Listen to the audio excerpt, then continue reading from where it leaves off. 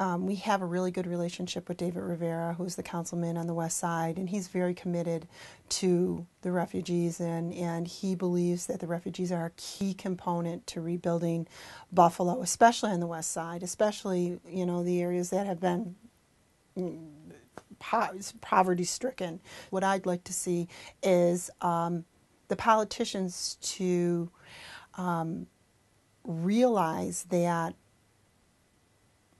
these refugees are coming into the city of Buffalo. Um, when you look at the numbers, you can say, oh, there's a decline in the number of people who are leaving Buffalo. Our population was this number two years ago, and it's this number now. Why? Because 98% of these people who have moved back into the city are refugees. So let's embrace these people. Let's Let's work together with these people so that we can rebuild Buffalo. You're not going to get your normal Joes to move into the city of Buffalo and rebuild the West Side when there's no jobs here.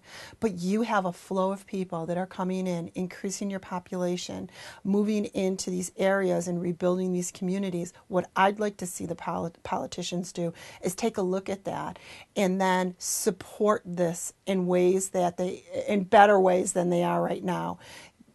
Invite them into the to the employment roles of the city. Hire them. Find different ways that, that you can appreciate what they're doing to our city.